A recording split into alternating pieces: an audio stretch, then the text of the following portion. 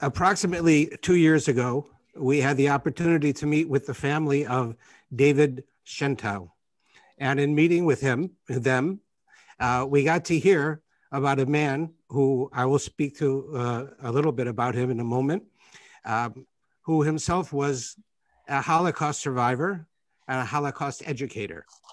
Um, and his family wanted to memorialize the work that he did in the last number of years of his life uh, in educating all of the youth and others uh, in what happened to the Holocaust. As he said, the more people he educates, the more witnesses there are to such a thing. So last year, before COVID hit, we had the opportunity to really be able to have this event live.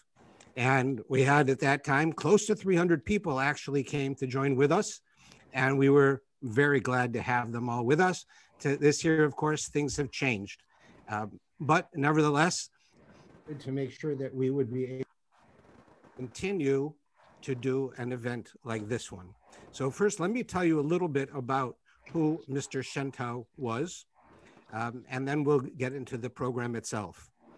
Um, when he was liberated in the end of April in 1945 from Dachau concentration camp, David Shentow weighed just over 76 pounds, but he carried more memories than most men could ever bear.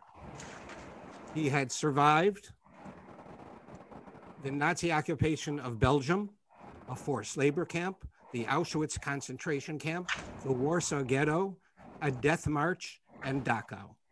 He went home to Antwerp, Belgium, in the hopes of relatives, although he had heard his mother, father, and two sisters had perished in Nazi death camps. He thought that perhaps some of his aunts, uncles, and cousins may come back to the Jewish community center there.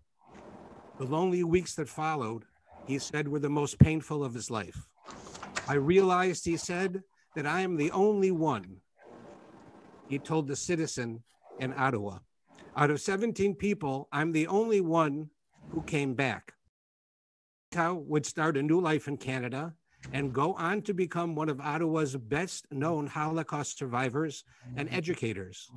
Later, he probably became one of the best known Holocaust survivors and educators in Ontario. For three decades, he was a tireless witness to history, suffering his memories in classrooms, auditoriums, and museums so that others could understand the truth of the final solution, the Nazi policy that systematically killed almost two every three European Jews in 1945. He explained, when I talk about it, I always feel that I'm not the only witness anymore. All of these people who hear me, they are also witnesses now. For many years, Mr. Shentow didn't talk about the Holocaust, not even to his children. He only began to recount his ordeal after Ernest Zundel and other Holocaust deniers began to make headlines in the 1980s. Shentow returned four times to Auschwitz to take part in the March of the Living, a Holocaust education program, and he's appeared in many documentary films. He retold his story to students in Belgium, Israel, and across Canada, and always asked that his audiences not applaud. I am not an entertainer, he would admonish. I am a witness. David Shentow sadly passed on in 2017 here in Toronto. He was 92 years old. He's survived by his wife, Rose, who's in Toronto now, their two children, grandchildren, and great grandchildren. And Mr. Shentow's memory continues on into the future and, the, and that his work will be continued by the endowment of his family to make it possible that every year we will have a lecture and an event in memory of Mr. Shentow as we are this evening tonight. Just a moment, I've got a bunch of people to let in. Okay, they're coming in. I, I, I'd like to just take a moment at this time to welcome with us. There are a number of people, but one of them is the president of our synagogue, who was also influential and met together with me and the Shentow extended family. And I'd just like to welcome him and have him say a word or two to you. It's Mr. Stuart Haber. Can, uh, can people hear me? Yes. Uh, first, Rabbi, thank you so much for arranging this important and meaningful evening. And certainly to the Shentel family. I remember when.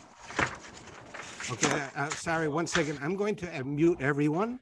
Uh, Mr. Haber, if you would unmute yourself after I do that. We just have too many people to leave it on.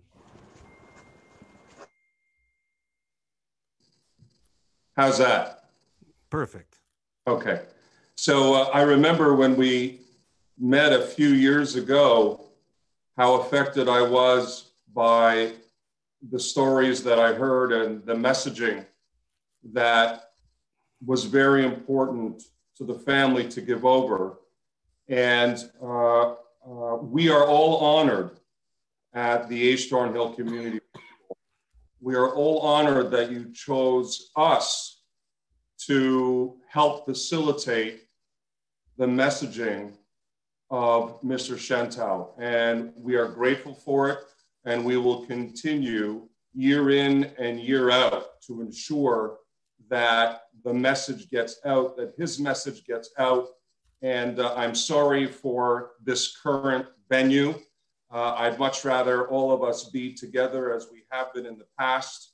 Uh, but it is such as it is, and I hope very soon that we will be able to get together face to face.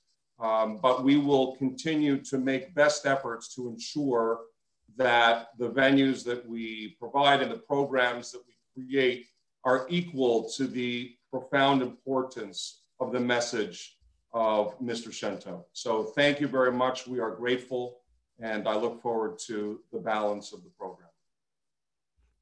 Thank you, Mr. Haber. Um, again, I'm going to mute everybody again. Um, and then those who are speaking, we're going to ask you if you would um, unmute at the appropriate time. Uh, first, um, now a, uh, a young woman uh, who really was, um, really played a large role in the organization of this evening's program and um, helping us find the appropriate speaker and helping us in uh, finding the appropriate date. As you know, today is a special date. Um, is a, a, young woman by the name of Jody Spiegel, who is direct, she is the director of the Holocaust Survivor Memoirs Program and the IHRA delegate at the Azrieli Foundation. Uh, we have her with us this evening. We would like to have her just uh, say a, a few words as we begin the program. Thank you, Rabbi Rothman, for this opportunity. And thank you for listening to some of the suggestions. It was really exciting working with your team of people to make tonight happen. Um, I had the pleasure of knowing David Shentow briefly as part of the International Holocaust Remembrance Alliance. My first year, it was hosted in Canada, in Ottawa, and I was able to hear him share his story. And you could hear a pin drop. The room was silent. And we heard from a witness to history and the fact that this storytelling, the sharing continues today is very important. As you all know, today is the United Nations International Holocaust Remembrance Day. And so it's not a Jewish day of remembrance and commemoration. It's a day that was marked by the Allies um, to, to ensure we remember the liberation of the Auschwitz Birkenau concentration camp 76 years ago our day of remembrance, obviously, as we all know, is on Yom HaShoah, which happens to fall on, I think it's the 27th of Nisan, but it's just a few days after Pesach. And what we're still trying to commemorate around that time of year is the Warsaw Ghetto Uprising. And while that we know took place on Erev Pesach, it continued on. It didn't, it wasn't just a few days. One of those witnesses to the Warsaw Ghetto Uprising is um, a brilliant man that I am lucky to know. His name is Pinchas Gutter, and he'll be sharing some thoughts with you today. I was lucky to meet Pinchas um, as an amazing survivor speaker and later as one of our authors. We published his memoir, Memories in Focus. And Pinchas and I have traveled together and we've worked together for a long time. I'm not going to tell you anything more about Pinchas because he does a far better job than I do. But he did grow up um, in a Hasidic family in Poland. And there's this Hasidic idea that when you tell a story, that itself can save the world. By sharing one story, we can save the memory of a person. And perhaps that idea is that in keeping a memory alive, you prevent what's sometimes called a second death, the death that happens when an event or a person is forgotten. We can't let that happen. And so we will continue to share the stories of our survivors. And thank you all so much for this merit of being able to pass the stories and share them with each other. And whatever you hear tonight, you then become a witness to then share with others. Thank you. Thank you very much, Jody. Your, your words came from the heart, they enter the heart, and I'm sure it is a, a wonderful preface for what we're about to do this evening. Um, I'm again going to mute everyone because more people have joined, um, and I will ask our speakers to unmute at the appropriate time. Okay. Um, now, um, uh, we, we, we added a, a, a small thing just for uh, this evening that we don't do each year, but um, we were sorry to hear that Rabbi Reuven Bulka, who was actually the, the rabbi in Ottawa, where Mr. Shentow was for many years, um, who we had originally were trying to see if we could get him to join us. We had heard that he's quite ill. So we've asked uh, one of the members of our synagogue, who's originally from Ottawa and who knows Rabbi Bulka well, if he would join us and just recite one paragraph or one kapitel of Tehillim as a, a, as a way to ask for a complete refuah, refuah shlema, for Rabbi Bulka. We've asked Rabbi Haskell Bahar, as I mentioned, is originally from Ottawa and um, is with us now. And I'd like to, and, and um, the psalm that he is going to be saying, I have put into the chat. If you open up the chat, you'll notice that the first one is a, a JPEG of one psalm. Um, he will be reciting this psalm um, as a way, again, for a complete and immediate recovery from all in the illness for, of course, for Rabbi Bulka. So, uh, Rabbi Bahar, if you would join us. Thank you. Uh, good evening, everyone. And thank you, Rabbi Rothman, for including me in the lecture. I'm, I'm honored. May the neshama of David Shentow have an aliyah, and may the family of David Shentow have arichas yamim v'shanim, long, happy, and prosperous lives. Um, some of you may know that I grew up in Ottawa, and my mother, Sheila Bahar, resides at the Hillel Lodge. My father was uh, Eric Bahar, Oliver and my uncle Sam, Sam Ages, was very active in the Jewish community. He was the head of the Chevra Kadisha for many years, as well as other things that he did in Ottawa. I was fortunate to attend the uh, Jewish Cheder in Ottawa, the Hillel Academy, and um, I was there from grade one till grade 10. Rabbi Bulka was my Rebbe in grade eight and grade nine, and I've been in touch with him ever since. I'm honored to say a few words about my dear Rebbe and recite the Tehillim for Refuah Shlema. Uh, being a rabbi in a small city is an extremely arduous task a small city rabbi doesn't have the conveniences of a big city. When Rabbi Bulka arrived in Ottawa, there were no kosher restaurants, very few observant Jewish families, and no kollel. A lot has changed since then, thanks to Rabbi Bulka and others. I met Rabbi Bulka, as I said, in grade eight. He introduced our class to the Talmud. Suffice it to say that he was and is a brilliant Talmid Chacham and a great orator, as everyone knows. But what impressed me the most in grade eight was that he was an accomplished baseball player. He could hit the ball out of the schoolyard with ease. I guess in those days he was in his 20s. And um, that was how he related to all of us. He related to us on our level. Rabbi Bulka's greatest asset is that he is a real mensch. He's kind and he's humble and he's comfortable with everyone he meets. When you speak to Rabbi Bulka, you speak to a friend. Ottawa has had a plethora of great Jewish leaders come and go over the years, but Rabbi Bulka stayed and helped nurture and build a strong community, strong in Torah and strong in mitzvahs. And that's no easy feat. Our sages teach us that King David's Psalms shatter all barriers. They affect and accomplish great outcomes with kindness and compassion. Allow me to offer this Psalm as a refuah shalema to my Rebbe and to Ottawa's Rabbi, Rabbi Bulka.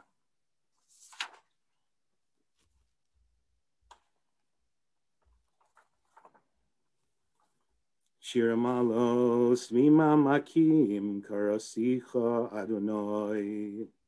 Adonai shima v'koli tiena aznecha kashuvos v'kol tachanunai imavonos tishmar yadunai miyamod, ki machas licha leman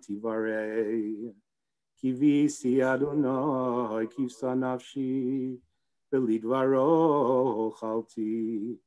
Nafshi l'Adonai mishomrim laboker, shomrim laboker, yachel Yisrael el Adonai, ki im Adonai achesed beharbe imo fedus.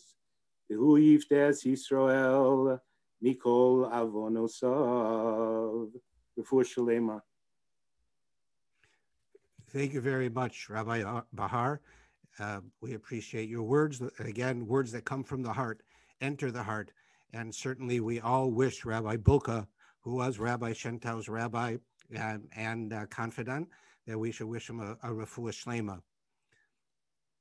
So and now we are going to, um, first I would like to welcome, although they've, they've all offer, uh, did not agree to say anything, but we do want to welcome pretty much much of and most of the Shentel extended family who are with us today, who have sponsored and made this event possible. And we'd like to welcome them to this evening, um, the second annual of these events that we've done. So now it's, it's time for our guest speaker, Mr. Pinchas Gutter. If I could, I would give you just a bit of an introduction, and then we'll get to the main purpose of our evening. Mr. Gutter was born into a well-established Hasidic family who traced their roots back 400 years in Poland. He was born in Lodz and was seven years old when the war broke out.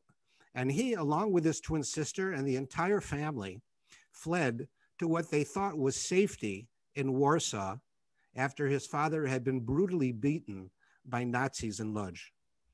Pinchas and his family were incarcerated in the Warsaw Ghetto for three and a half years until April of 1943.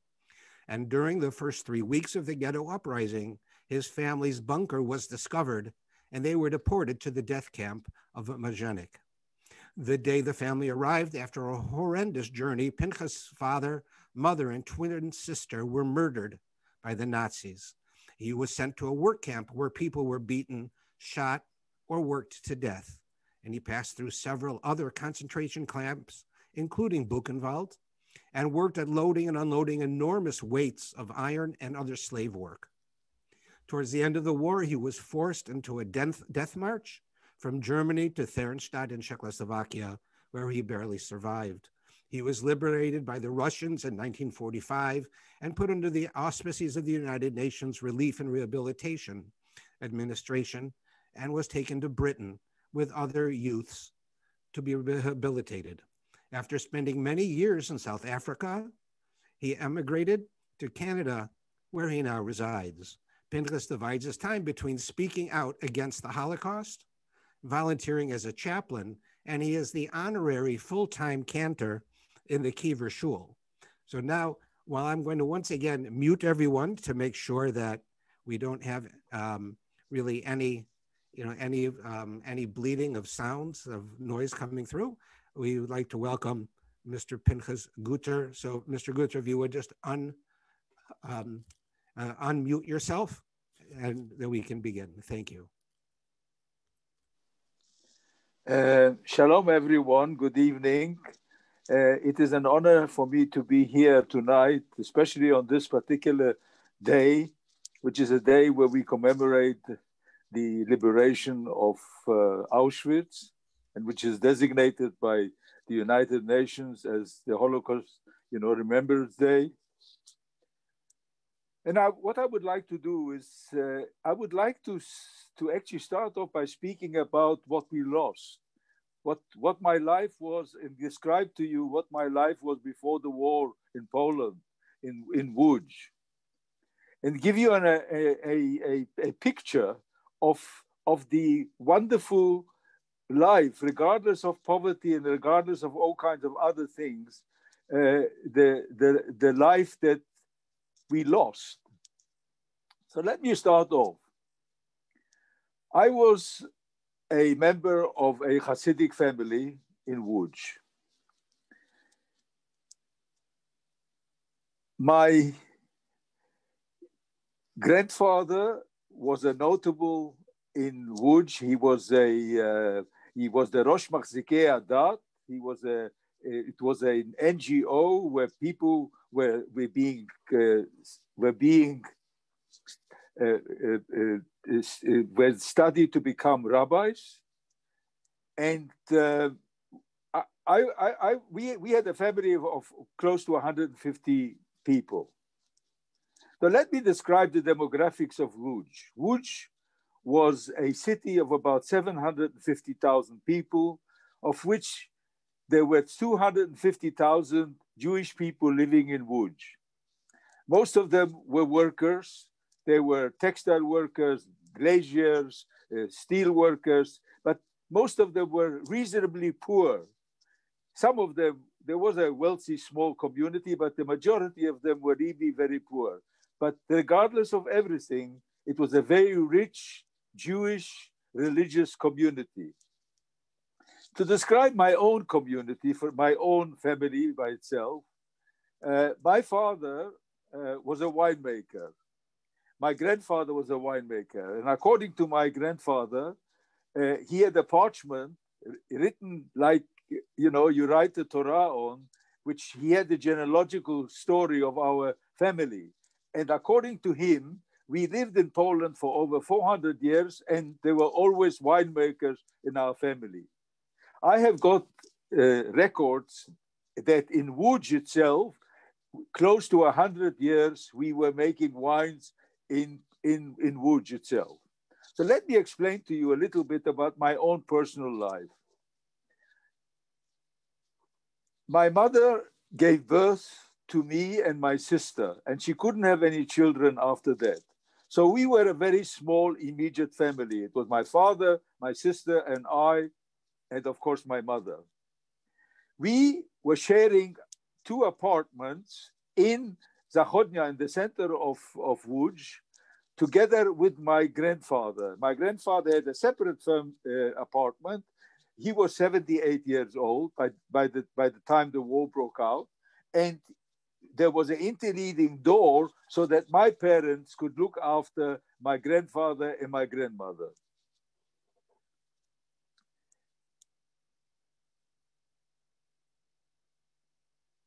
When I was about three or three and a half years old, my grandfather took me to the cheder and he gave me a bag of sweets and he took me, we walked together. I held his hand and we came into a room where little children were sitting on the floor around and there was a melamed and each one gave a sweet to the other one. And this is how I started my learning. I started my learning, my, the, the Chumash, the, the Old Testament, and the Bible when I was about three and a half years old. But at the same time, I also started my life as a worker. When I was about the same age, my father took me down to the cellars and he started to teach me how I'm going to become a winemaker. He took a small table and he put about a dozen bottles of wine. I can't remember exactly the number, but they had no labels. And each one had a number on it from one to whatever. And he put next the little cup next to it and he poured some wine into each one of these.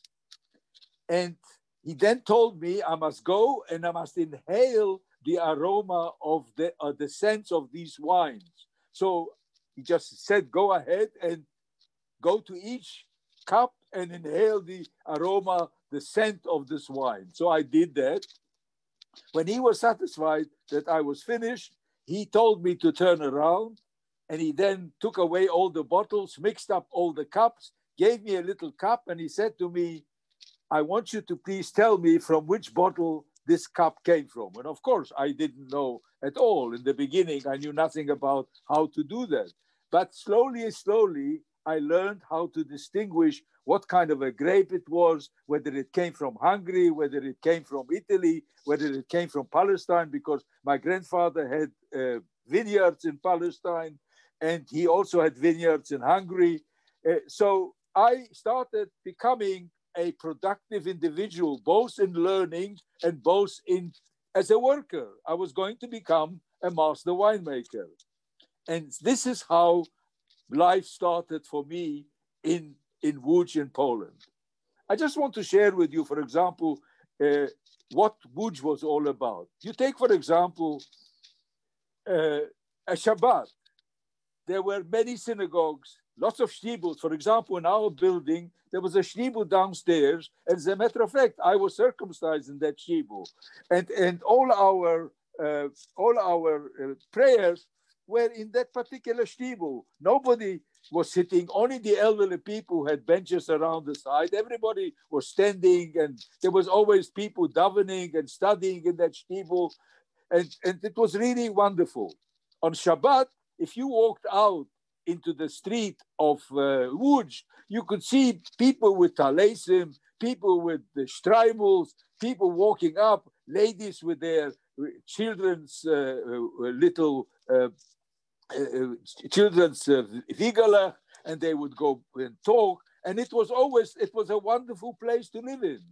Of course, there was anti-Semitism, and I'm going to the and I'm going to describe to you two in two instances where I uh, uh, you know, experienced or personally anti-Semitism before the war. But it didn't affect me. I was a happy child. When I was about four and a half to five years old, I unfortunately became ill with pneumonia. And pneumonia was very dangerous in those days. And I still remember the doctor that treated me was Dr. Hirschwinkel. And uh, he managed to get sulfa drugs from Vienna he uh, uh, and slowly, slowly, I started recovering. My mother, you know, I slept in my parents' room. My mother was saying, Tehillim all the time. And they, you know, we were quite superstitious. You know, we learned a lot of things from the Christian uh, community. So we had like uh, white doves floating around. It was quite an interesting situation for me as a child. But I was very ill. When I started recovering, I was sent to the mountains to live with mountain people called Gurale. And these Gurale, I lived in their huts with the animals and everything to try and recover. You know, the, the, the, the Tatra Mountains was a range between Czechoslovakia and Poland. It, Poland generally is a very flat country, very forested, but but uh, Czechoslovakia and, and Poland had a border the Tatra Mountains. And there, uh, was a place where people would drink the waters and recover from lung diseases. So I was sent in for, I was there for several months living there. I was always interested in music. There were no chazonim in my uh, uh, family, but I was very interested in, in davening and listening to music. So on Sundays, uh, there was a there, there was a, uh, uh, a, a, a, kind of uh, very large park, and in the park, the, the, the local mu musician, the local uh, army uh, band and the police band and the lo lots of other, you know, school bands and others used to come and play. And I used to run down from the mountain and listen to it. And on the way back, there was a very large church going up to the mountain. So I would stop outside. Uh, Poland was a very religious country, and they always had mass. And I would listen to the music and to the sounds of the choir. Of course, I didn't go into the church because a Jewish little boy wouldn't be able to go there. But one day, I must have been so enveloped in the sounds of this wonderful, whether it was Bach or Mozart, I can't obviously can't remember what it was. But I slowly went towards the church. I did not go inside, but I knelt on the first step and I was listening. I was in, in kind of very much involved in listening to the music. And suddenly somebody started hitting me from the back. I looked around and there was a middle-aged man and he said to me, how dare you, you dirty little Jew, you know, uh, dirty the soil, uh, contaminate the soil of our Holy Mother's Church. And he chased me away. And I went back to the mountain. I lived with Christian Poles, and I was I was quite a happy child. I was running around and and, and playing and uh, being on the. There was a river. It was like Switzerland, and I was very happy. The second time that I experienced anti-Semitism before the war was when my mother and I used to go walking in in in Łódź quite often. And uh, one day we were walking in the street, in our street, and uh, my mother was a blonde, very very beautiful uh, Scandinavian looking woman, and I was blonde. The children, we were all blue, eyed and blonde, and we were all blue eyed and blonde. So we were walking, but I had little payers, and I was dressed like a little uh, Jewish boy with a hat and everything. But my mother could pass for anything. And I remember a man, I still remember exactly what he looked like. it was autumn because he had a fur uh, uh, uh, kind of uh, a, a, a, coat with, with a fur collar. And he had one of these funny cravats, you know, the, the old style cravats. And he had a, sil- a cane with a silver head and and uh, and he walked up and i thought he stopped my mother to ask something but he went up and he said to her how is it possible for you such a beautiful polish christian woman to work for these dirty jews and you are as a maid or something like that and my mother didn't answer she just crossed the road and from that time on, I remember quite often when she thought that she was going to be accosted or anything like that, we used to cross the road. And these are the two things that I remember. Otherwise, I was a very happy child. But all this ended on the 1st of September 1939, when the Nazis attacked Poland. And within about a week or seven, eight days, they arrived in Łódź. And immediately upon arrival, they, um, they started with all kinds of rules and regulations against Jews. And they also had lists of uh, notables, and it wasn't only Jewish notables. They, they you know, Łódź had a, about 100,000 ethnic Germans who were left over from the times when Poland was ruled for 150 years by the Russian, Prussian, and Austro-Hungarian Empire. So they, they were ethnic Germans, and they all became Volksdeutsche so they were also before the war. They, obviously, they were like a fifth column, and they uh, prepared for the Gestapo and for the security service lists of notables. That the notables were not only Jewish, but my grandfather who was a notable, was on, on the list. They must have got it from uh, the Jewish Community Council. There was always a, a, a, a, a Gemina, a Jewish Gemina in, in, in, in, in the big cities and even in the small cities. And basically, this is what how he came about to be on this list. So when you remember, I told you we had these two small apartments with uh, two doors that you could come in from the outside but with the interleading door. The war was still raging. It was about two weeks after the war started, and suddenly uh, there was a ring at my grandfather's door. My father went through the interleading door, opened the door, and there were the, these two Gestapo men with black coats, and uh, they asked for Chemaya Gutter. I mean, they asked for him for Yitzchak Meir or whatever. Then my name of my grandfather's name was that they could say, and my father took them into the bedroom and he said, he's lying in bed, he's 78 years old, and he uh, just had an operation before the war started, and he is very sick. And one of them said to the other, there's also in Krapirn, because I knew Yiddish, I, I still remember the word. Krapirn, you mean he's going to kind of peg out, he's going to die, so we're not going to take him. Then they asked my father, Who are you? And my father said, I am the son. What do you do? I'm a winemaker. Where do you make wine? Novominska number 19. They took him away. They beat him almost to death. They threw him in a corner and they asked the German military police that all the trucks that are going to the front, they must come downstairs and helped it, uh, to the cellar and helped themselves to whatever there was. There were about 11,000 bottles of different wines and liqueurs because uh, we had a concession from, uh, from Austria uh, uh, uh, that making brandy stock. I don't, today, it is even today, stocks brandy and uh, we were making all kinds of different things. We weren't only making Yiddish Kodesh kosher wine for Jews, we were also making wine for the whole of, of Łódź. We were the second largest winemakers in Poland in by 1939.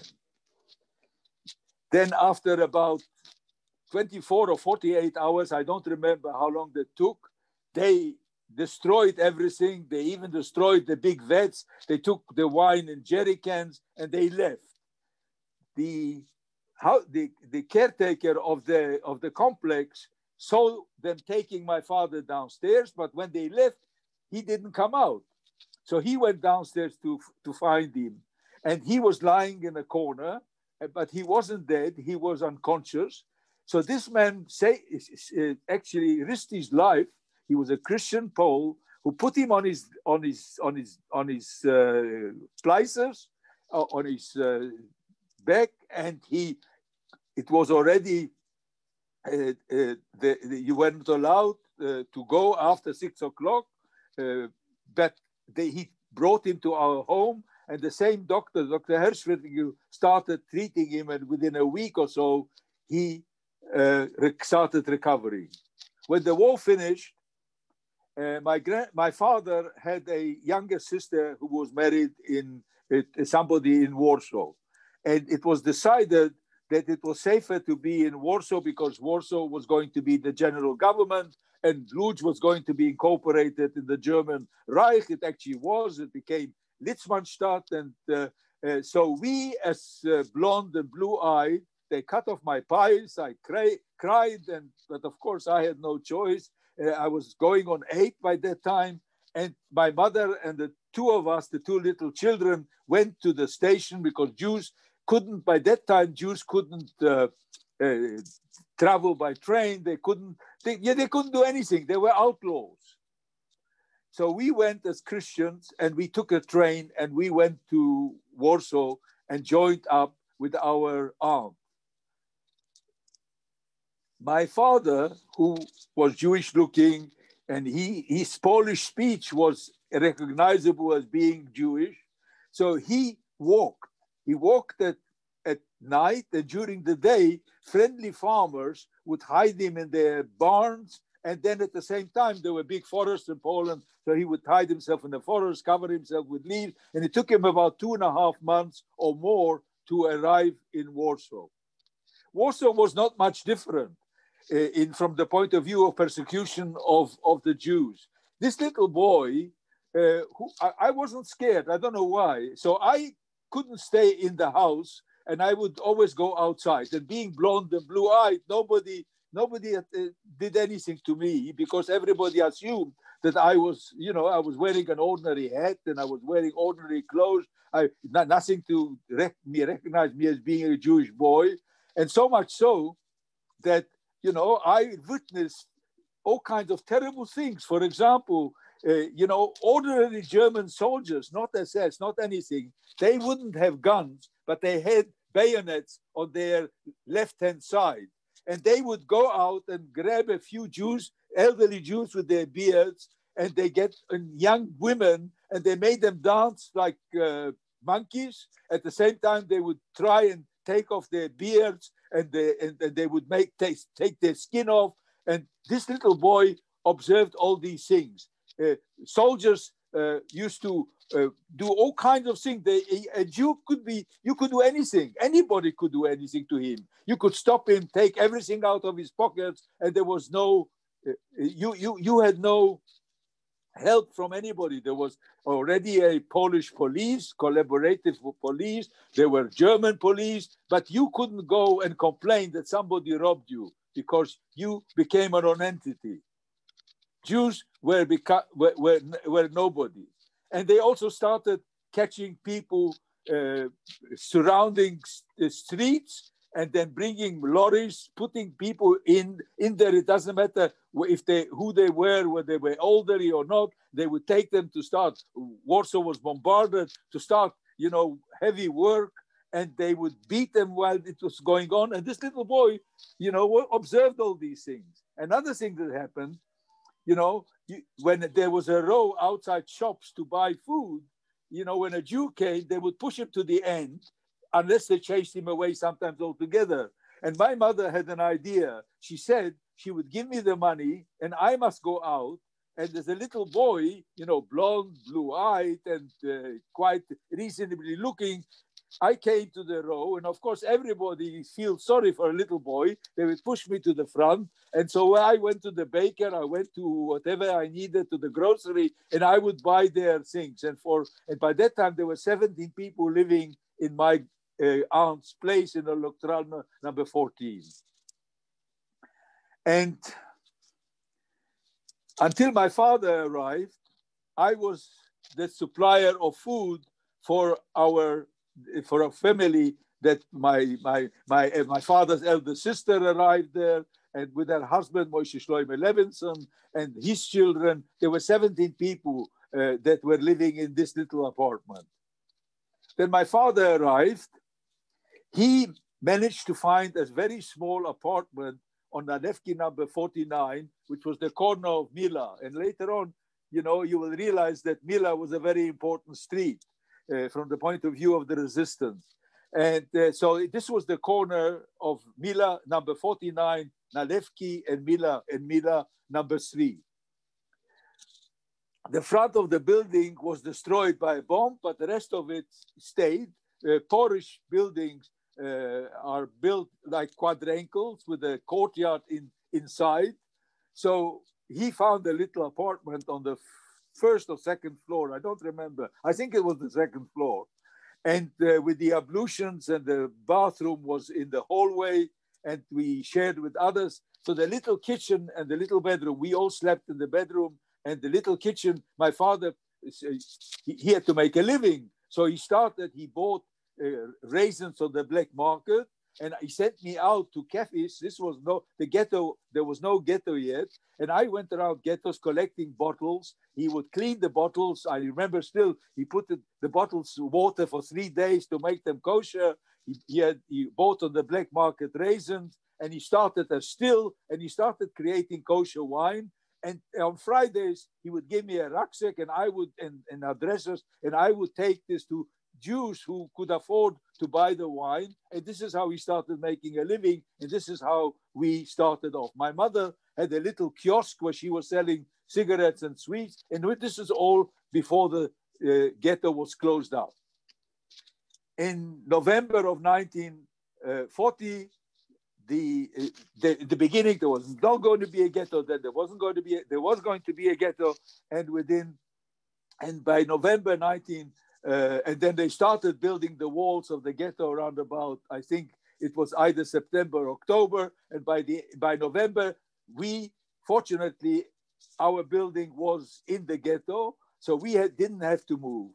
But 350,000 Jews that lived in, the, in, in, in Warsaw out of a population of 1,350,000 had to cramp into an area which was less than 3% of the area of Warsaw, of the city of Warsaw. By that time, the Nazis created a Judenrat, they created a Jewish police, they created a Jewish prison, they created a post office, they created all kinds of things as being a kind of you know independent little entity, except this little independent entity was not independent at all.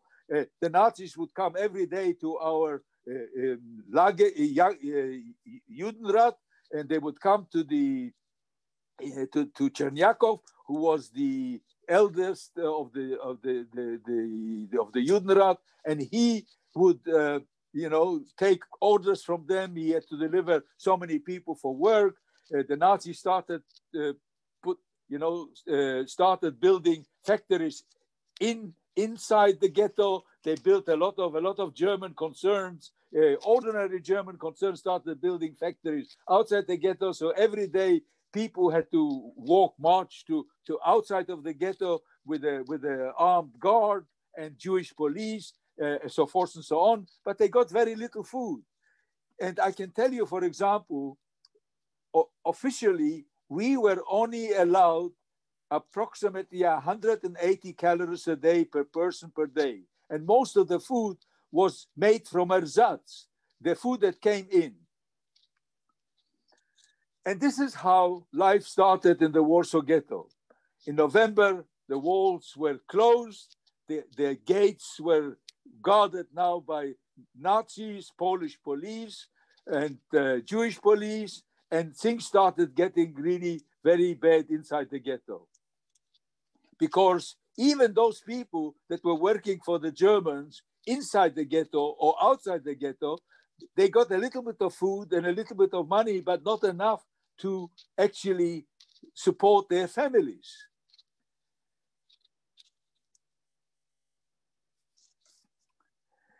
Unfortunately, there was also a black market.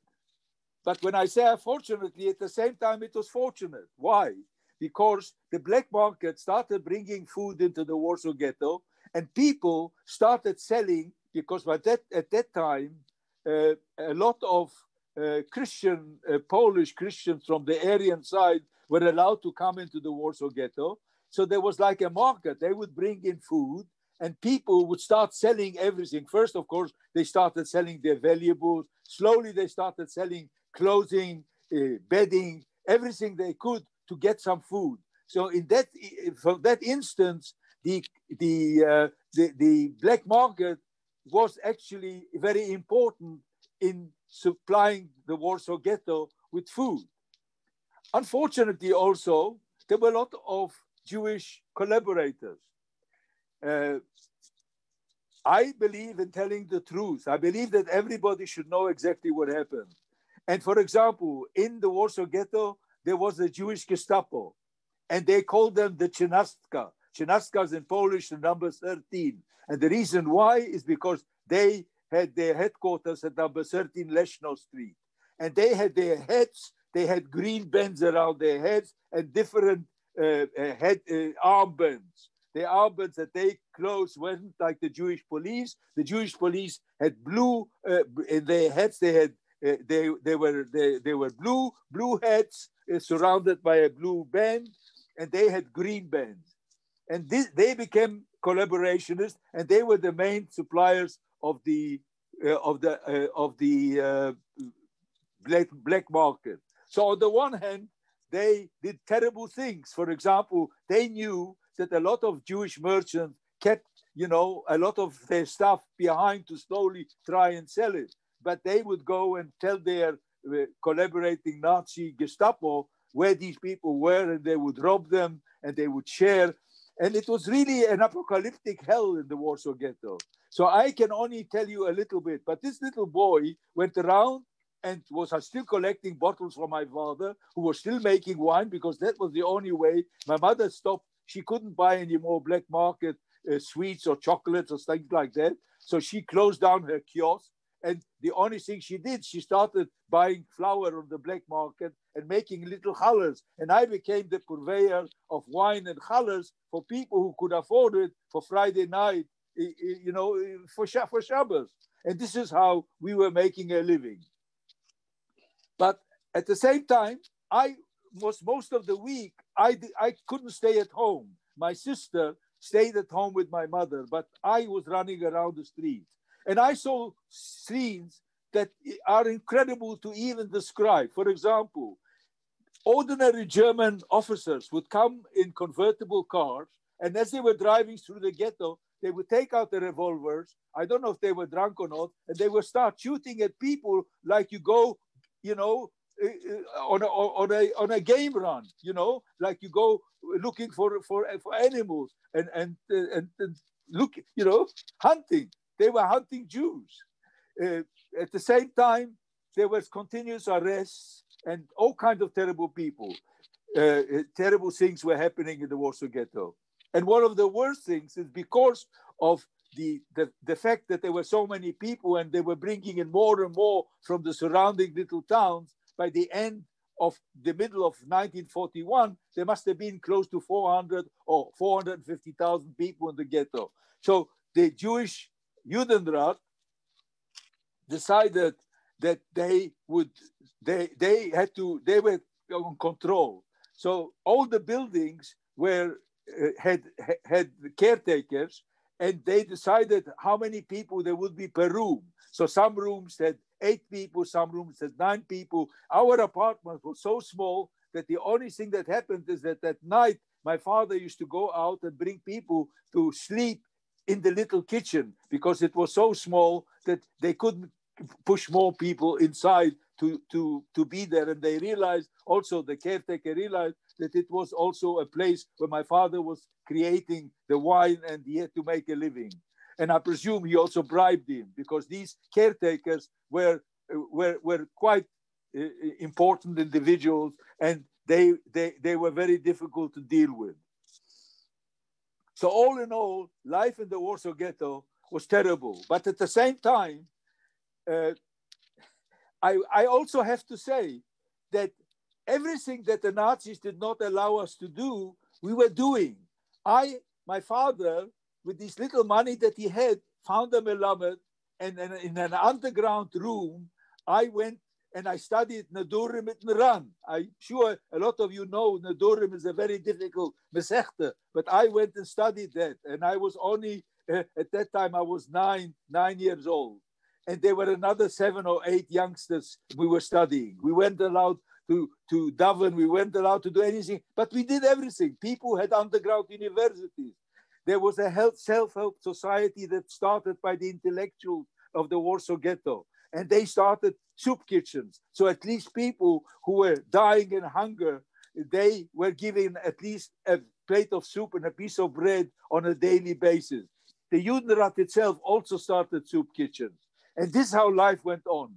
But unfortunately, because of the crowding, and because of what was going on in the Warsaw Ghetto, people started dying. And from the beginning of 1941, you started finding people dying in the street. So when this little boy went around and his eyes were lenses and the screen of his mind was celluloid, he started photographing these scenes. So I was standing outside the cafe where I wanted to go and get some empty bottles for my father. And inside, collaborationers, Gestapo, uh, Polish police were dancing and singing and and uh, doing and and and and the geese were being roasting and I could smell the the sense of these uh, all these meats and stuff that, that was coming out of these cafes and there were many cafes in the in the Warsaw ghetto.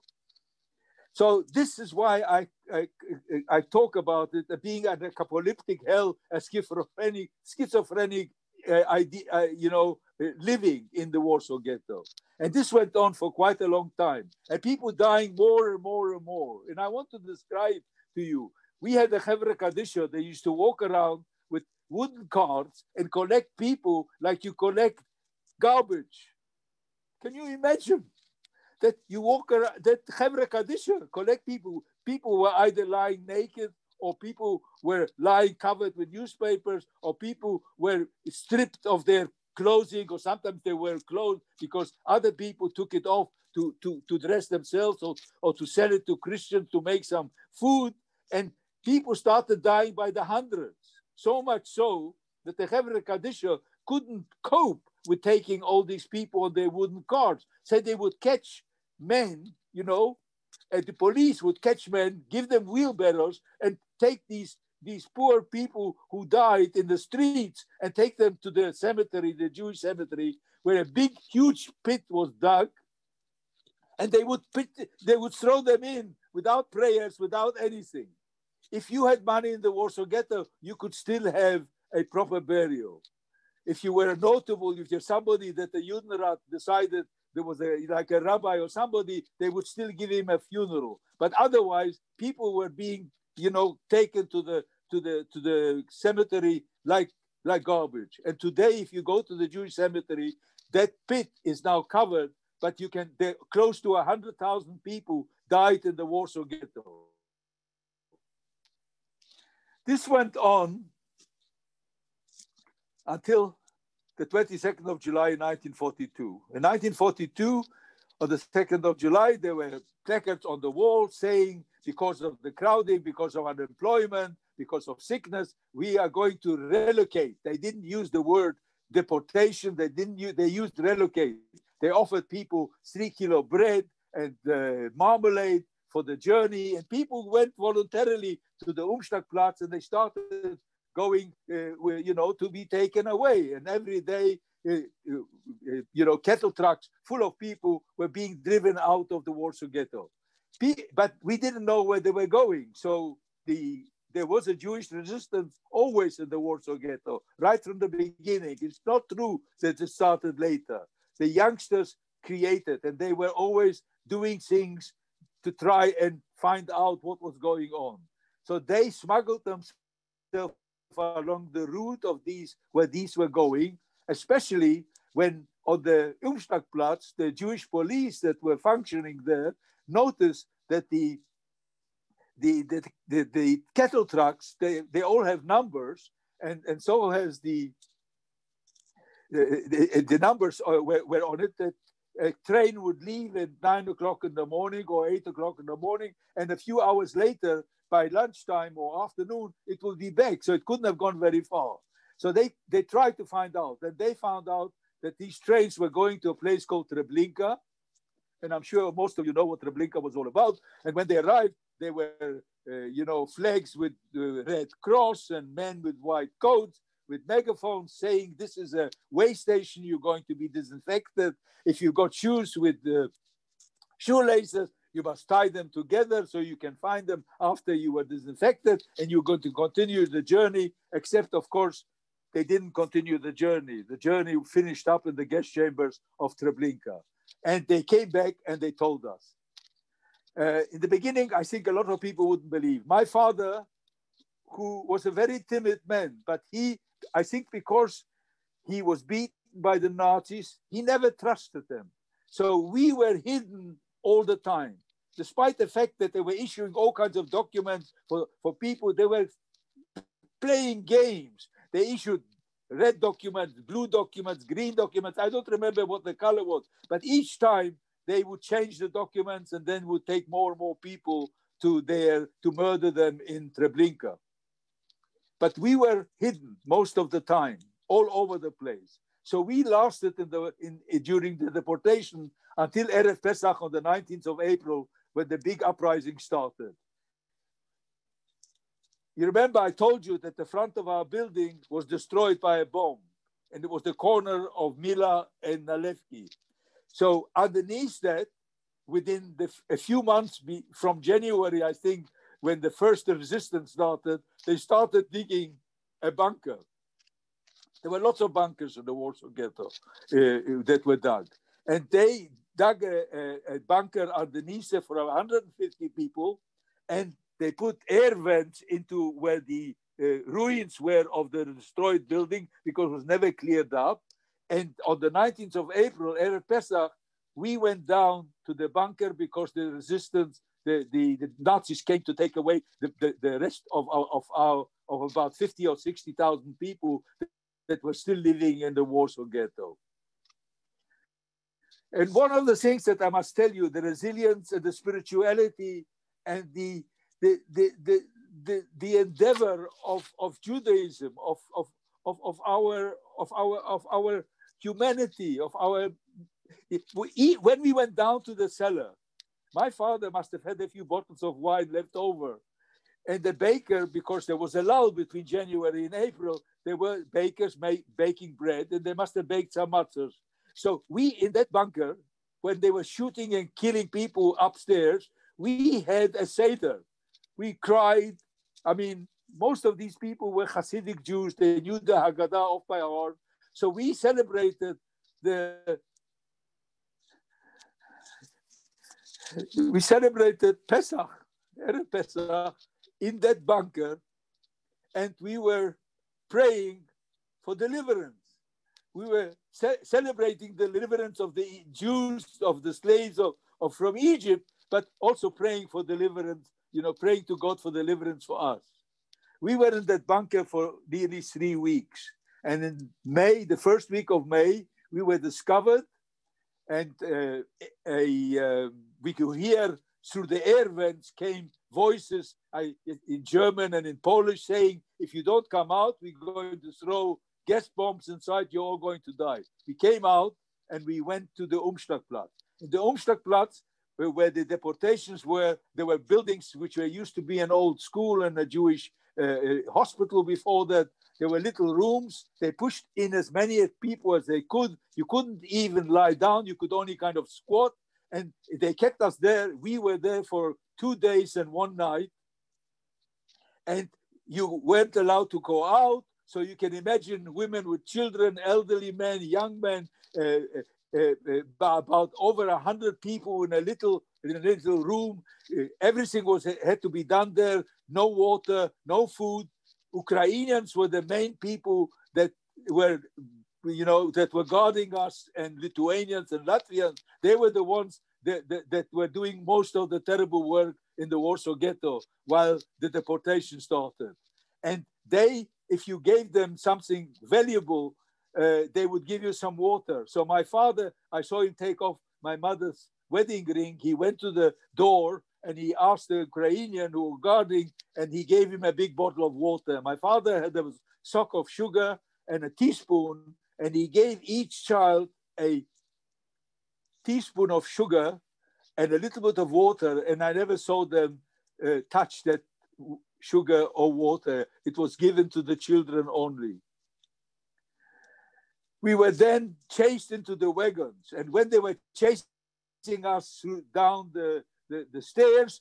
They were beating us with, with rifle butts, with wooden things, and we were and with dogs and shooting people and running. And you, you, you. I mean, it's, I can't imagine. I can see the scenes because they're all indelible in my mind, but I can't imagine that this actually happened to me.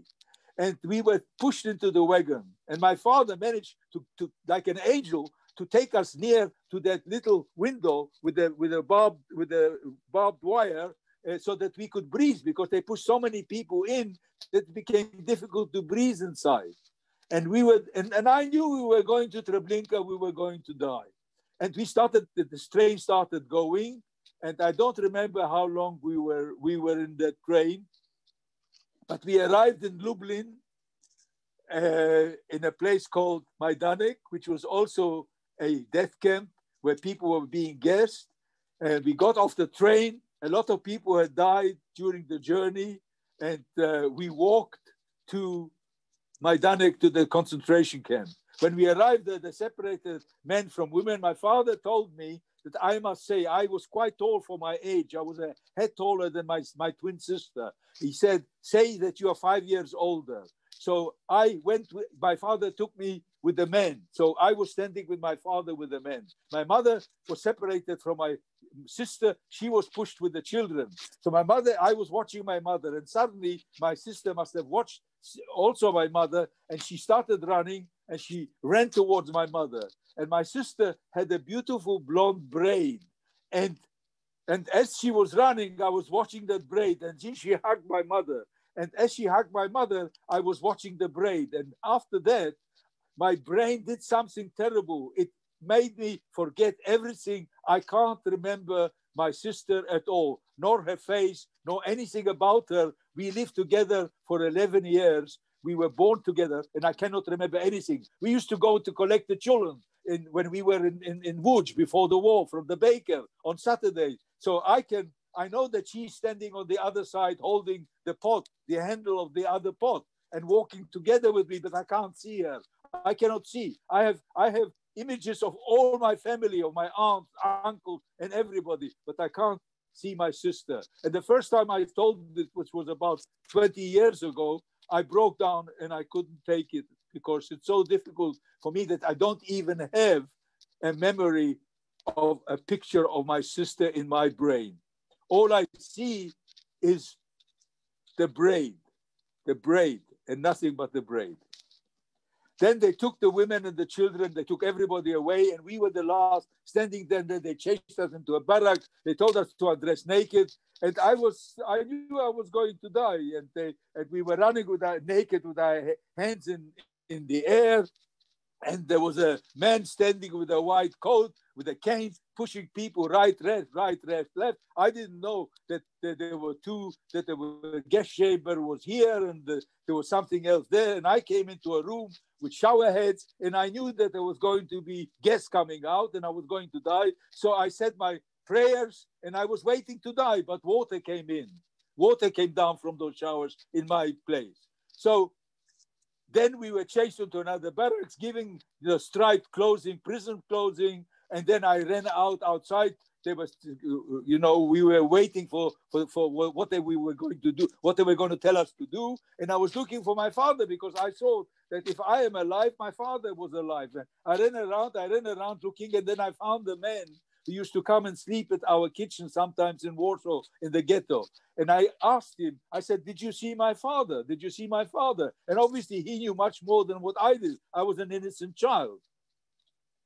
And he didn't answer. And then suddenly, eventually, after me really going at him and pushing him, he lifted his eyes to heaven.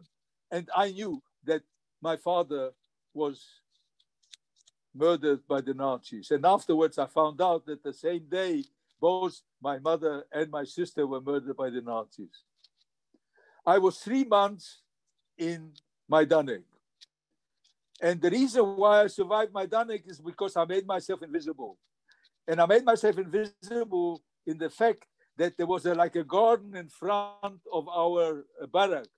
And as they every morning when they woke us up for work groups and and and, uh, and so forth and so on, I laid myself down uh, and started fiddling with the flowers and the grass and everything. And when anybody asked me of authority, a lager, uh, a Führer or a capo or a assessment, I would say that the, the, the Werkschutz told me to do that, and that one told me to do that. And I made myself, I just lie there, and, and during lunchtime, I would run to the kitchen to get some food. And I was caught a couple of times to go work, and Majdanek was a camp of torture. The Ukrainians were the main guards of Majdanek, and they loved kill people with spades. So every day there was selection for guest chambers, but there was also killing. People that went out or Arbeitskommando, they were they came back with with with with with, uh, with bodies of people that were killed by the during the work. So you cannot imagine what Majdanek was all about, and I can't imagine that I survived that. After three months, I was selected to go to become a slave laborer sold by the Nazis, by the SS, to a company called HASAG, Hugo Schneider Aktiengesellschaft, and I was sent to a place called Skarżysko. Now, Skarżysko was a camp, a work, so so-called working camp. As a matter of fact, after the war, a man who was there, a writer, and who survived the, that camp, uh, his name was Mordechai Strigler, he wrote a book in Yiddish called in, published in Argentina in 1948, and he called it in the Fabriken von in the factories of death. Because in that camp, you worked, they worked you to death. They, there was selection for shooting in the forest. We were, we were living in such conditions that people were dying day, day in and day out. There was a typhoid epidemic. It, it, it, it, is, it was quite an incredible place to even imagine the interior administration of these working camps, often and including ours, was Jewish. We had a Jewish commander, a woman, Markowiczowa, who was a terrible woman. Before the war, she was a, a, a headmistress of a Hasidic shul married to a Chosed, which she, uh, uh, during the war, she Uh, uh, uh, she she uh, divorced and married somebody else, and they they were the first ones that were brought to that camp, and they became the, they called them the prominentes. And then I didn't know why, but their barrack was called the White House. They lived very well. The Jewish, there was a Jewish police, and they had separate barracks. And fortunately for me, providentially, I believe, when I arrived, and they said we're allocating people to work, I was allocated to work for the policeman by the name of Katz. And when he asked me my name, he said, I know you family. I come from Łódź. And he said to me, my wife, uh, I've got my wife in the police barrack. Unfortunately, she's ill. And uh, if you, after working for 12 hours, if you come back and you become her nurse, uh, I will look after you. I will make things easier for you. So this is what happened to me. And this was again provident. He, I would work 12 hours a day. And fortunately, his commando, his work group was working in the outside, wasn't working where they made mines, where they made bullets, where they made grenades. And people, the Jewish people that worked in those factories, had no protective clothing. The Polish Christians that came from the vicinity that came every day to work, they had protective clothes like the firemen, and so have the Germans that worked there. But we didn't, they didn't have it.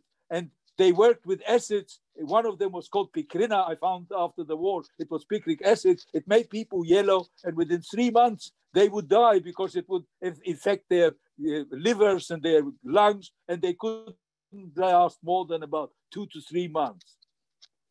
Fact, uh, um, uh, uh, one of my cousins from Łódź arrived while I was there. Uh, Michal, I was his at his wedding in 1938. He married a cousin of mine, Moshe Shlomo Levinson's second daughter. And, and he started working with this yellow stuff and he died within three months. He started swelling up and he died, unfortunately, in, in that camp.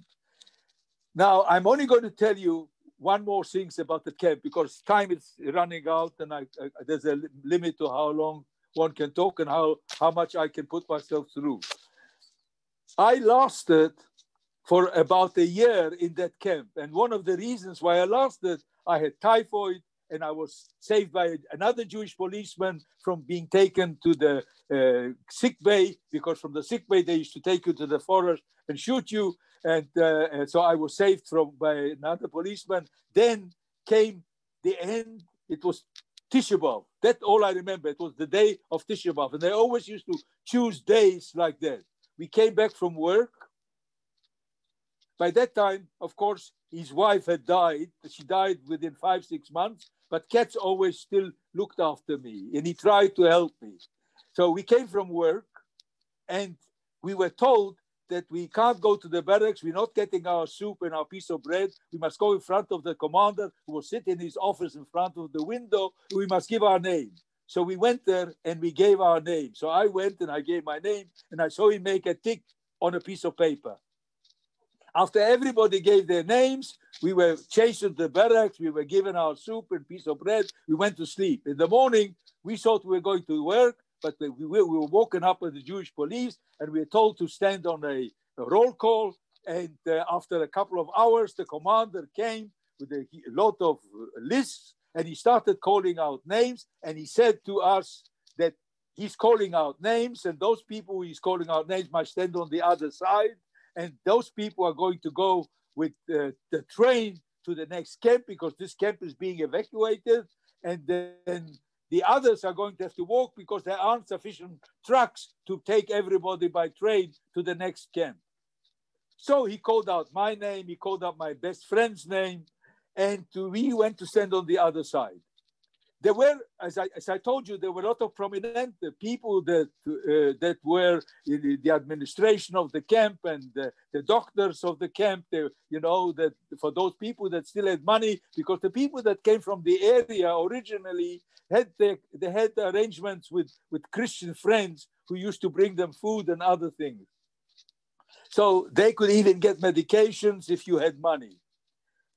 So these doctors not only looked after us, but they also looked after the Ukrainian families because they had their families there. And also the Germans were also used there. Uh, this woman was like the chief doctor, and she was on very good terms with Yemach Shemo Schultz, the commander of our camp.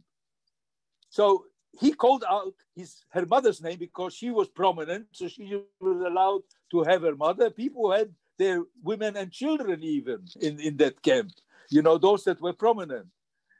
And uh, he didn't call out her name. So she ran towards him I didn't hear what she was saying, but she was pushing, pulling his sleeve, and she obviously asked him, "Why don't you let me go with my mother?" She was on very good term. They always used to walk and laugh together, and we used to watch them how friendly they were. And he wouldn't let her. He was pushing her back, pushing her back, and pushing her back. And eventually, he lost his temper. He called the mother, took out his revolver, shot the mother, and shot her. And then we knew, we looked around, the people that he called out the names, and they were all people that were yellow, people with rags. I even didn't have shoes by that time. I had rags on my legs tied together with with with wire, you know, you know, stuff from cement bags and stuff like that. I had no shoes. My shoes that I came from from uh, Majdanek had, had, had gone, and I couldn't get new ones. So we started running, and we started hiding, and uh, you know, what do you do? So I, st- I ran, the barracks were built on stilts. So I ran underneath one of the barracks and I burrowed myself like an animal trying to hide. And providentially, with the Ribono Shel Olam's help, who found me? Because the Jewish police, the SS, the, the Ukrainian guard, they all started surrounding everybody and making a new roll call because he was now going to, if he had 500 names on his list, and I don't know how many, he had quite a lot, he was going to get as many people, but he was going to choose them. So they were pulling us out. Katz found me. He said, Look, let me help you. Took me to the police barrack, took all my rags off, washed me, combed my hair, took lipstick from his dead wife, rubbed it into my cheeks, and gave me proper boots like the police wore, not the police hat, but an ordinary hat. He gave me a shirt, a jacket, sh- proper shoes, proper, uh, and everything. And I looked like a human being. He said, Go out with God's help, you will survive. And we had a new roll call, and everybody was surrounded now by a heavy guard of, of, of, of SS, Ukrainian with machine guns, and they were watching us. He went from row to row to row to row. Next to me, my best friend Yaakov stood and he was in rags like I was before that. Schultz walked and took people out, and then when he took somebody out, the Jewish police or one of the guards would take them, and then they surrounded them in a kind of uh, uh, like like a like a ring, and they were keeping them in. And if anybody tried to run away between the legs, they would shoot him on the spot. There was no more nonsense about going by trains. So he came and were taking people out. He came and I was standing in the front row because nobody wanted to be, and I was a youngster. They pushed me to the front row, and he came and stood in front of me, and I was sure that he was going to take me. He recognized me, he was going to take me. But he didn't. He went and he took Yaakov without looking at him and threw him into one of the guards who put him into that ring. And of course, the next day, or the day after, uh, after everybody was taken away and they, they, all the condemned people were shot in the forest. We were in forest in a camouflage place, these, these camps, there were three camps, Werk A, Werk B, Werk C. And this is, uh, uh, they took us and we, went we went to Częstochowa. And I was there working very hard, but fortunately in that camp, there was a wonderful Jewish commander and his name was Frankel. Unfortunately, he lost his life in Buchenwald. Uh, and he made so that we never saw a Nazi in the camp. Nobody died in the three, four months that I was there. I was there from August. It was from Tisha B'Av. It was the end of July or beginning of August 1944 until uh, the end of December or middle of December. I was there. And in that time, nobody died. So much so, he had such good relationship with the Germans that when one of the young boys had appendicitis, he would he sent him to the Polish hospital in Częstochowa, and he came back and he recovered and he survived the war. So this was an this was an unbelievable. This is where I had my bar mitzvah because I found out of Gödel Eisner, who was a friend of my father. They went to the yeshiva together, and he decided that I was going to be 13. I wasn't quite sure how old I was, but he he was at my circumcision, and he decided that he was going to make me bar mitzvah. So at midnight, because we had to be very careful. He had tefillin, he had a talis, he had a sidur, and I made the blessings and I became bar mitzvah. And he said in Yiddish, mit God's help, as the Überleben Hitler, and hat mich gebencht. and he benched me and he said, with God's help, you will outlive Hitler. And then from there, I was unfortunately taken to Buchenwald. From Buchenwald, I went to a place called Colditz. And then Colditz, I was there for about four months in Germany, also working. And again, I got to tell you the story. And I don't, it's very important because the Rebbeinu works in different ways. It's difficult to know how, what is going to happen to you. When we arrived in Colditz from Buchenwald, the SS were already elderly men, and the officers, there were no camp. They, it was a hole, and there were bunks in there, and they look, you would lock, they would lock us up at night. And during the day, we worked with Panzerfaust. With the with the uh, Panzerfaust was one of these uh, uh, anti-tank rockets, with very primitive anti-tank rockets that the Germans used to use against tanks. And we made these things. But when we arrived there, there was a roll call. And the first thing he said, ob da ist kleine Buben, they müssen aussteigen. When, if there are any youngsters, they must step out.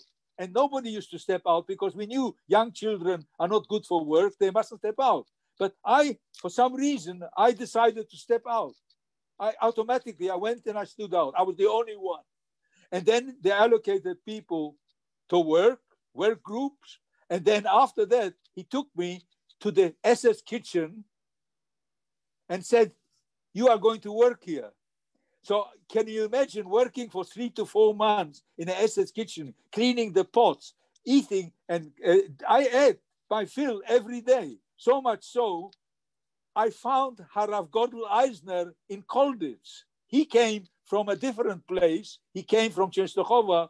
I don't know whether, he, I can't remember whether he came via Buchenwald or via the Schlieben, but he came to Colditz and I found him there. So in the evening when I came and I got my soup and bread, I gave it to him. He survived the war. He remarried. He went to Israel, became a Rosh Yeshiva, and he, he, he remarried, had children, and he became a, a very famous man. And, and he lived till his late 90s, and he only died a couple of few years ago. And that's that's how that's what happened when I arrived in Colditz. I was there for, for until I think beginning of April. Then they chased us out on a death march, and we 1,500 of us left that place, and only half of us arrived in Theresienstadt. And I was liberated on the 8th of May by the Russians uh, in Theresienstadt in 1945. And that, and that's my story. That's part of a little story. Thank you, very, thank you very much for listening to me. We certainly want to thank Mr. Gutter for um, exposing himself again and opening himself up because it's a it's apparent. I know from talking to my own mother, but I can you can see it clearly that every time he tells this story, it it it, it tears open his heart again, and it's as if he's reliving it. And it's it's really a privilege for us to hear the story, but um, even more so because we know um, you know how meaningful it is and and and how much of a witness he has become. And we certainly appreciate his taking the time and opening himself up to us today. And we want to wish him um, a long life and and uh, and a happy life and a meaningful life where he can continue to share his words and share his wisdom with uh, coming generations as, as is the purpose of this evening. And again, uh, Mr. Gutter, I think anybody who was here was deeply touched by what you had to say. And we wish you only the opportunity to, to live many more years and to be able to continue to make a difference in the world by letting people know of your story, what you went through, and all of the Jews that you that you passed by and that you took with you and that you interacted with through those uh, numbers of years in hell that you that you experienced. And that you're and that you know the way that today you have been able to you know become real again become a person again. And i know that how difficult it was for my own mother to have gone through the war and then you know in a matter of a couple of years to get married and have children as if nothing had happened until you scratched her a little bit and you saw that that it really was there and we uh, we we appreciate your opening up and you're speaking to us today.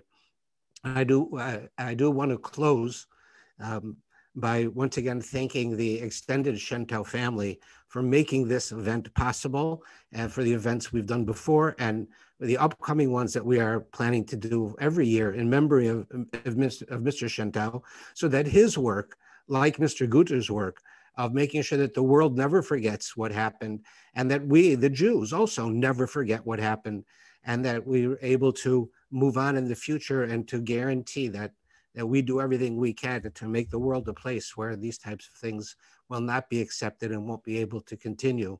So the uh, the the assistance of the Shentow family in making that happen, and certainly people like Mr. Gutter who have opened themselves up to do that for us. We want to thank you all. We appreciate all that you've done. Uh, every one of you, that is every one of you in the Shentow family who makes this possible, Mr. Gutter who does so, um, and all of the other witnesses who give of their their blood and their sweat and their tears in being able to open themselves up to us. So we want to uh, thank you all for joining with us. We had just close to 100 people with us, which for Zoom is an extraordinarily large number. Um, and, and there's good reason for it because it's a, those who, who Mr. Shentow knew that, that, uh, that whatever he did, it was something that was worthy of your time. And any of you who knew Mr. Gutter or heard of him knew that you were going to have an evening where you're going to learn things and feel things that you perhaps haven't felt. Very often we speak about how terrible things are today with the COVID, and, and it is, and it, in all different ways. But I think it's evenings like this that put it into perspective and to allow us to realize um, sometimes how depraved the world can be and how through our efforts the world can become a better place. So again, I want to thank everyone for participating, for the Shentow's fa family for making it possible, for, for Mr. Pinchas Gutter for opening his heart to us again. And uh, we want to wish everyone a good night and hope that um, you'll continue to participate in these things and to make sure that the world realizes what did happen and through our efforts to make it possible that these types of things will not happen, not only just not to us, but to anyone in the world. So thank you once again. We appreciate you joining with us. And I, Rabbi Avram Rothman, um, really do appreciate what uh, what all of all of your coming and participating and carrying on with uh, the knowledge and the stories from one of the darkest times in modern Jewish history or in world Jewish world history. Thank you very much, and everyone should please have a good night. We'll see you. Shalom. Shalom. Thank you. Thank you very much.